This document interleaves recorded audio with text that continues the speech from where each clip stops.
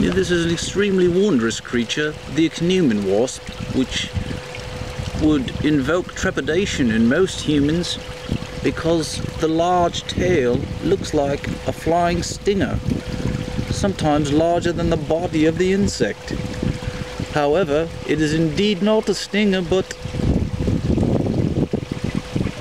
an egg tube in which it lies eggs to be put into the hole of a dead tree.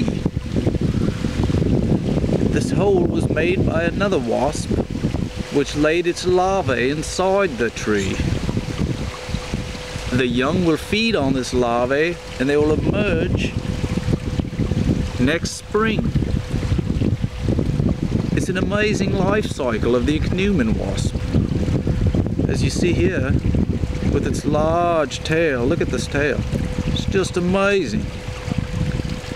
This tail will be inserted into one of these many holes of the tree.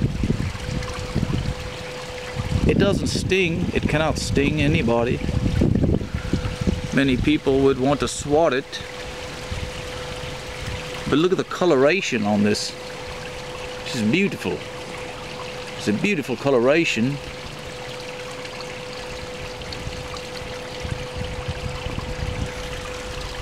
And they're just going about their daily business. You see another one up here. He's just going about his business. They're not they're not able to harm anyone.